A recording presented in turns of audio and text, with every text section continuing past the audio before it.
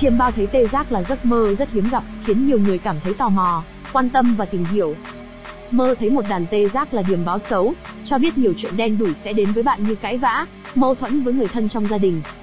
Mơ thấy một đàn tê giác đánh 76 hoặc 83. Mơ thấy con tê giác uống nước, giấc mơ này là một điểm lành, biểu hiện sự thanh thản, hài hòa và sung túc trong cuộc sống. Mơ thấy con tê giác uống nước 89 và 98. Mơ thấy con tê giác bay, giấc mơ này là một biểu tượng của sự tự do, phiêu lưu và khám phá. Bạn có thể đang có những kế hoạch lớn bạn muốn thực hiện. Mơ thấy con tê giác bay 93 hoặc 95. Mơ thấy con tê giác tấn công mình, giấc mơ này là một cảnh báo về sự nguy hiểm, đe dọa hoặc xung đột trong cuộc sống. Mơ thấy con tê giác tấn công mình đánh 51 hoặc 72. Mơ thấy con tê giác trắng, giấc mơ này là một điểm tốt, biểu hiện sự may mắn, thành công và tiến bộ trong cuộc sống.